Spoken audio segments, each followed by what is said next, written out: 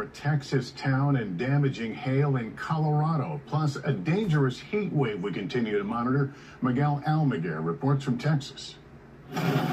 Tonight, the twisted and tortured landscape of Matador. This is what's left of the small Texas town, shredded by a powerful summer twister. Nearly every home, business, and building in this community of 600, a skeletal remain. And we could hear the porch being ripped off the side of the house. Then we could hear the roof being ripped off. With Matador declared a disaster by the governor, the preliminary EF3 tornado showed no mercy as it swept into town, an hour and a half outside Lubbock, killing four. Brooke Brandon rode out the storm on her walker, alone at home.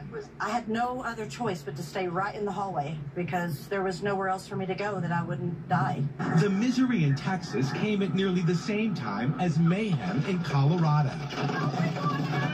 Outside Denver, dozens pelted during a dangerous hailstorm at an outdoor concert, leaving some hospitalized and others with broken bones.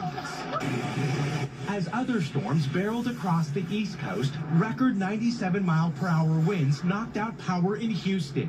Today, 18 million across Texas are under heat alerts, where a potentially deadly combination of sweltering temperatures and stifling humidity shattered six records on Wednesday.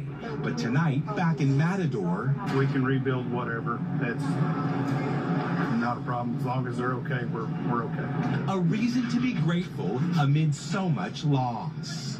Miguel, a devastating scene there in Matador. Do authorities believe everyone is now accounted for? Well, Lester, incredibly, they do, in part because this is such a small town where everyone knows one another. But make no doubt about it, the destruction here is massive. This is just one business. But I want to give you a shot from our drone overhead. It'll show you just how widespread the scope of the damage here. This is repeated block after block.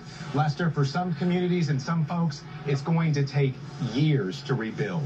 Lester. Yeah, the trees stripped of their leaves. All right, Miguel, thanks. At the